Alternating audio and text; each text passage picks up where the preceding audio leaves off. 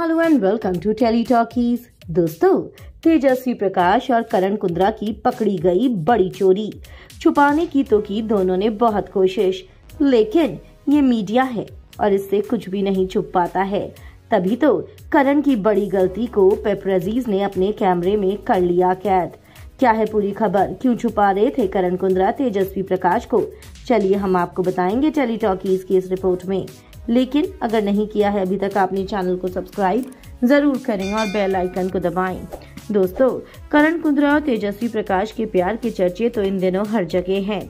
और ऐसे में, होली से एक दिन पहले करण कुंद्रा अपनी लड्डू के पास होली मनाने के लिए पहुँच गए और हो गए लड्डू की वैनिटी वैन में बंद। जी हाँ दोनों काफ़ी देर तक वैनिटी वैन में बैठे रहे। लेकिन जब करण बाहर निकले तो कहीं ना कहीं ऐसा महसूस होने लगा कि करण कुंद्रा तेजस्वी को मीडिया की नज़रों से छुपाने की कोशिश कर रहे हैं। वो नहीं चाहते थे कि तेजस्वी का चेहरा मीडिया की नज़रों के सामने आए और अब इसकी बड़ी वजह सामने आ रही है।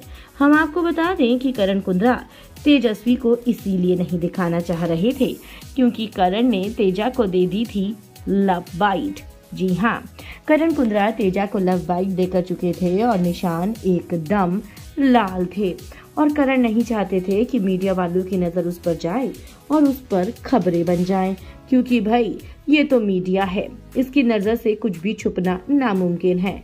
लेकिन करण की लाख कोशिशों के बाद भी मीडिया वालों की नज़र तेजस्वी की लव बाइट पर चली ही गई, जो तेजस्वी की गर्दन पर थी, जिसको करण कुंद्रा छुपाने की कोशिश कर रहे थे।